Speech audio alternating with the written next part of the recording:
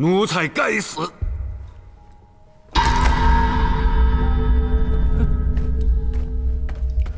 你，你，你，你反了天了！你，鄢茂卿南下巡盐，共计收入五百三十万两白银，其中二百三十万上交国库，一百万交给了嘉靖皇帝用作私房钱，另外两百万则流进了鄢茂卿和严世蕃的腰包。敢把手伸进嘉靖皇帝的钱包，严党的末日到底来了！只是为了避免打草惊蛇，防止严党转移赃款，嘉靖皇帝决定先稳住他们，等待正月十五再予以一网打尽。为了稳住严党，嘉靖皇帝决定先让镇抚司将无关紧要的齐大柱年前正法。只是这个命令的传达，嘉靖皇帝另有安排。得罪朕儿子的事情，你就不要管了。镇抚司由陈洪管。让陈洪去办。对于吕方，嘉靖皇帝还是讲感情的；对于陈洪，嘉靖皇帝从未信任，只是利用他的一个“狠”字，仅此而已。很明显，此时的嘉靖皇帝开始为吕方安排后路了。这道命令以后，嘉靖皇帝再次下令：严嵩现在该在等朕传旨了，把他还有徐阶都交来。将君臣一心用在嘉靖皇帝和严嵩的身上，虽然不太合适，但嘉靖皇帝正在审计严款账册，不管是褒奖还是质问，严嵩知道嘉靖皇帝必有召见，只是严嵩尚不知道严茂清和严世蕃贪占严款二百万两的内情，所以他猜错了嘉靖皇帝深夜召见的真正目的。召见严嵩是嘉靖皇帝需要演绎出安抚的好戏。只是嘉靖皇帝想要安抚严嵩，为何还要叫上徐阶呢？两个目的：其一，杀鸡儆猴；其二，用作衬托。严嵩和徐阶赶到金舍以后，嘉靖皇帝下令赐座，这一次甚至用上了下面生了火盆的红木凳子。既然要安抚严党，稳住严党，这种以示恩宠的小细节，嘉靖皇帝自然不会放过。只是这种待遇太高。而且嘉靖皇帝最厌烦的就是烟火气，徐阶先给出了表示：皇上精舍里的烟火气不能太重，臣等不能坏了天规。吕公公，还是搬出去吧。其实此时的徐阶肯定在想，给予了这么大的恩赐，嘉靖皇帝这又是干嘛？是不是又要来一出安抚清流、推崇严党的平衡好戏？严嵩自然也要有所表示。皇上如此恩宠，臣等实难消受。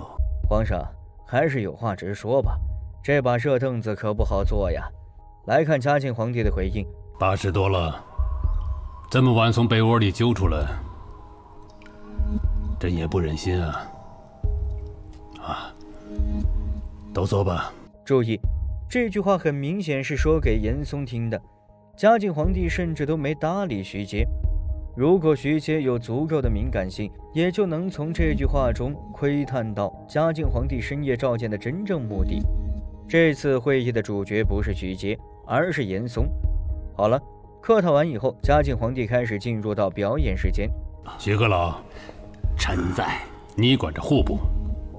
严茂卿的二百三十万两银子收到了吗？直接问到了正事，这不像是嘉靖皇帝的惯有风格。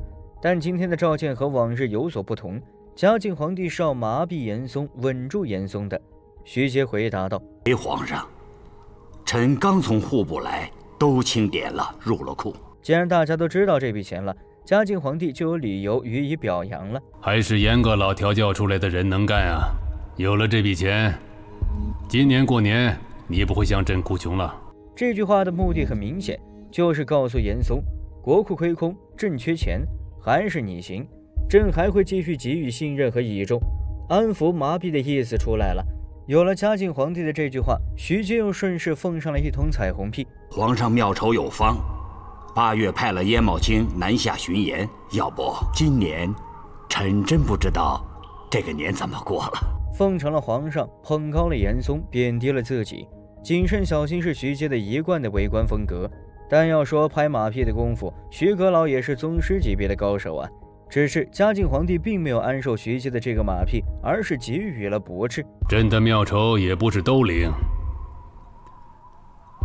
抓了杨金水，派了个赵真局去监管江南织造局。快年底了，五十万匹丝绸还没有织出一半。徐阁老，朕看你这个学生，本事也平常啊。现在你明白嘉靖皇帝要安抚麻痹严嵩，为什么非要叫上徐阶了吧？单纯表示对严嵩的信任和恩宠太过突兀，甚至有点欲盖弥彰的意思。可如果安抚严嵩的同时，再顺带敲打和训斥一下徐阶，着重严党贬低清流党的戏码才算合情合理，才更能让人信服。挨批评了，徐阶赶紧请罪。是臣督促不力。臣明日就发急递，严催赵贞吉。所以说，挨领导批评的时候，千万别想着解释，更别急着推卸责任，先把错认了，再赶紧想办法弥补过错，才是正确选择。谁有错，谁没错，领导心里最清楚。批评谁，包庇谁，领导心里更清楚。他想批评你，你解释也没用；他想包庇你，你不解释也没事儿。所以认错就是别解释。但徐阶今天的面对的情况又和往日大不相同。说白了，此时的徐阶就是一个嘉靖皇帝故意打击的衬托，目的在于麻痹严嵩。所以，不管徐阶给予何种回答，嘉靖皇帝都会给予反驳，继续训斥。丝绸是织出来的，不是催出来的。朕问你。江南织造局现在还挂在五个徽商的名下，是怎么回事？又听说这几个徽商还都是胡宗宪的本家，是怎么回事？好了，嘉靖皇帝引起了严党的关键人物胡宗宪，东南的倭患已经彻底清除，胡宗宪已经变成了可有可无之人。严嵩此时最担心的就是嘉靖皇帝对于胡宗宪的态度。继续重用胡宗宪，就能说明严党的地位还很稳固。如果就此将胡宗宪放置一边那就说明严党危险了。说白了，此时的胡宗宪已经成了严嵩判断嘉靖皇帝导言态度的风向标。来看徐阶的回答：回皇上，沈一石当时死了，是郑必昌、何茂才找来的这几个人。何茂才、郑必昌都已经死了，账总不能记在死人头上吧？好了，嘉靖皇帝的态度进一步明确了。是，这件事，明日臣一并在公文里追问，让赵贞吉明白回话。接下来，嘉靖皇帝开始将重点放在了胡宗宪的身上。胡宗宪的病养得怎么样了？这句话自然是问向严嵩的，但却又并没有说明，甚至连点眼神的暗示都没有。严嵩只能先问清楚。回皇上。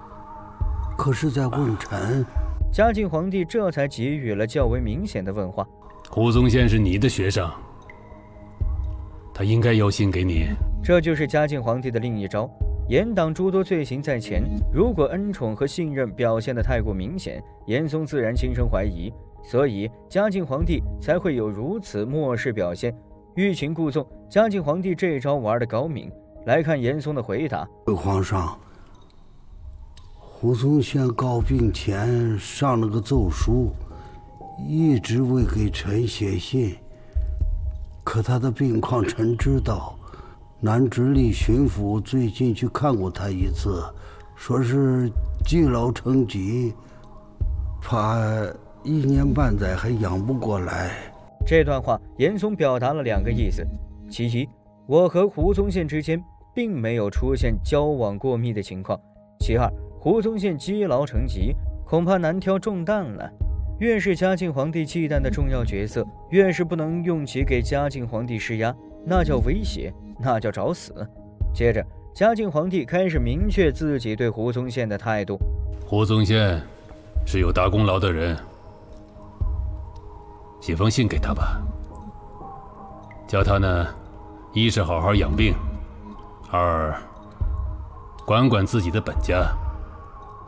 不要再掺和江南织造局的事情，出了事情，面子上不好看。嘉靖皇帝的这段话表达了三个意思：其一，胡宗宪功勋卓著，朕没忘；其二，让胡宗宪赶紧养好病，朕还要重用；其三，让胡宗宪扫清自己身上的脏水，别留小辫子。这三层意思合起来，就是要告诉严嵩，别担心，朕还是会重用胡宗宪，还是会重用严党。用胡宗宪稳住严嵩的戏码完成了。嘉靖皇帝开始引出另一个人物海瑞。朕上次跟你们说过，个人的儿子、个人的弟子，个人都管好。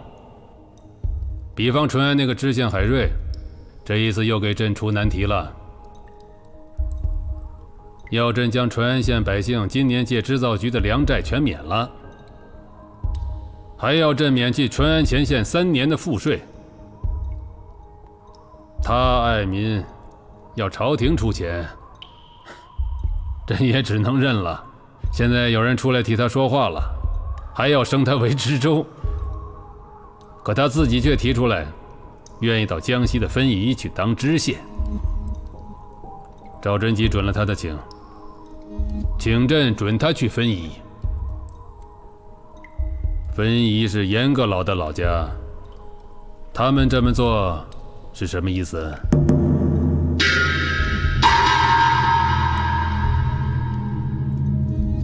徐阁老，你知道是什么意思吗？注意嘉靖皇帝的这句问话，问的是他们这样做的意思。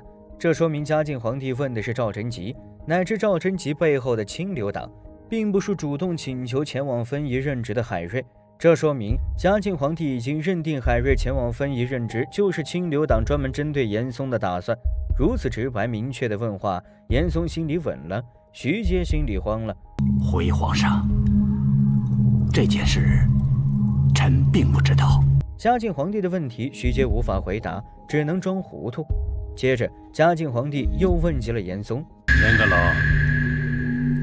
把这个人调到你的老家去，你有何看法？”严嵩一时片刻哪里知道。嘉靖皇帝此时突然拿起这把双刃剑是何用意？好在二十年来这样的应对也不知多少次了，便只是依然以不变应万变，顺着嘉靖皇帝的话答道：“率土之滨，莫非王臣？皇上让谁去哪里任职，就该去哪里任职。”这个海瑞真要是个清官，能到臣的老家去任职，那也是臣老家百姓的福气。两个意思：其一，嘉靖皇帝才是掌握大明王朝最高人事权力的扛把子；其二，自己的家乡如果能派去一个清官，我自然乐意。不管任何时候，严嵩永远把嘉靖皇帝放在第一位，永远给嘉靖皇帝留足了脸。这一点，徐阶、高拱、张居正永远学不来。接着，嘉靖皇帝开始叫来另一个关键人物朱祁，一个掌握了通倭大案内幕的锦衣卫。嘉靖皇帝和朱祁之间的对话，我们选择几处关键予以说明。朕这里有人上本，说是海瑞放了他。明知道是通倭的人，海瑞为什么还要这样做？回万岁爷，奴才们查问过，海瑞当时认为这个人通倭没有证据。那个倭贼头子井上，什么狼的都招供了，这还不是证据？那个倭贼头子叫井上十四郎，却与这次抓的齐大柱，在新安江船上拿粮食换生丝。因此被官兵给抓了。那海瑞认为，仅凭这件事，不足以证明齐大柱通倭。你们查了吗？回万岁爷，奴才也曾去查过，可那个井上十四郎被何茂才的聂司衙门的人带走之后，便无消息，奴才们因此也查不下去了。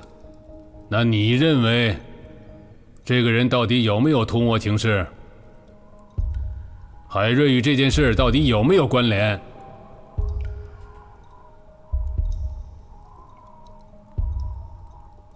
哑了喉了，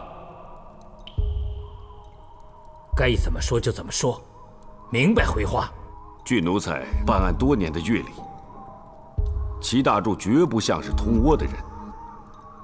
还有海瑞，他是于今年六月初三从福建到的杭州，六月初六到的淳安，从不认识齐大柱。纵算齐大柱有通倭情事，海瑞也不知道。齐大柱到底有没有通倭？海瑞又为何会释放齐大柱？嘉靖皇帝早在浙江上城的供词中详细了解。他之所以如此逼问朱祁，就是想坐实齐大柱的通倭罪行，顺着严嵩和严世蕃的期望推进事态的发展，目的还是一样，暂时麻痹严嵩，麻痹严党。只是朱七到底有着侠义之心，不愿平白冤枉了齐大柱和海瑞，并未顺着嘉靖皇帝的意思回话。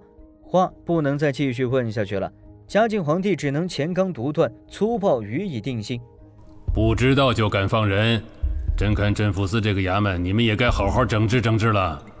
这个朱七，人称七爷，你们在朕的面前夸他如何了得？现在都看到了，一个这样的案子都弄不明白，还帮着通倭的人说情，锦衣卫是拿人的。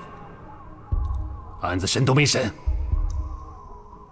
你凭什么就这样把这个案子定了？回话，谁在你那里说了情了？接着，大明王朝的另一出名场面出现了：朱七大呼奴才该死，重重磕头，将地砖磕碎了。一介武夫如此谢罪，方显真诚。侠义之人面对嘉靖的瞎眼不睁，硬说齐大柱和海瑞有罪，如此表现才能表现心中不平。朱七心胸坦荡，毫无畏惧。可朱七的顶头上司吕方可害了怕了，赶紧拿出态度：“你反了天了！你来人，把他押到陈洪陈公公那里去，听候发落。”可朱七的耿直表现是吕方万万没有想到的。如此大不敬，嘉靖皇帝真要动了怒，朱七怕是立马就会人头落地。所以，吕方赶紧命人将朱七扔出去。一来，这是该管下属犯了错，吕方必须拿出惩治态度；二来，这是救下朱七性命的唯一办法。同样被朱七打乱节奏的嘉靖皇帝给出了两句话：用不着，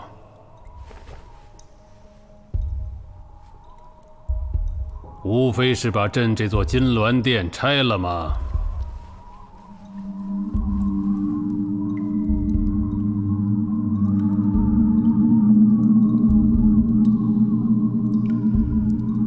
拆了金銮宝殿，你们个人也分不了几片瓦去。这句话更严重了，严嵩、徐阶、吕方纷纷下跪。朱祁逐渐清醒过来，赶紧请罪：奴才无状，犯了天大的罪，奴才这就自行去东厂，听候处死。就冲这句话，嘉靖皇帝开始为朱祁画上一个圆满的句号。砸碎一块砖，与天什么相干？朕也不要你死，这块砖朕也不换，朕还让你去审那个齐大柱。与海瑞有关办海瑞，与别人有关办别人。如果与任何人无关。就把那个祸根除喽，让他过了小年。腊月二十三，朕等着你顶着块砖来把这地补上。朱祁越是替齐大柱和海瑞说话，嘉靖皇帝就越不会杀了朱祁，因为他说的都是真话，证明了他的忠心。戏中角色纷纷演出完毕，嘉靖皇帝开始为这出戏收尾了，紧接着给出了两道命令：其一。通倭大案，让镇抚司去审，牵涉到任何人，朕都绝不姑息。其二，逼着徐阶表态，审清通倭情事之前，海瑞要革职待查，一切都在顺着严阁老的心意发展。接着，嘉靖皇帝转向严嵩问道：“严阁老，这样办这个案子，严世蕃满意否？”这句话要命了，堂堂大明皇帝办案，还要问几个臣子的意见。这个送命题来得太快太猛烈，严嵩该如何接？接着，嘉靖皇帝又给出了两道命令：其一，宽宥海瑞，但剥夺了誉王的举荐之权；其二，将海瑞调往江西，但不能于分宜任职，出任兴国县知县。严嵩赢了一个干脆，徐阶输了一个彻底。离开玉溪宫时，严嵩昂首挺胸，徐阶低眉俯首。严党似乎又赢了，清流党似乎又输了。但是嘉靖皇帝的目的却达到了，严党的坟墓挖好了。